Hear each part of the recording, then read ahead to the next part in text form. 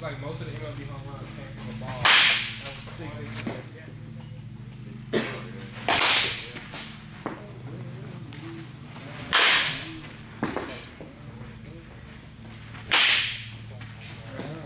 You need to walk around or what?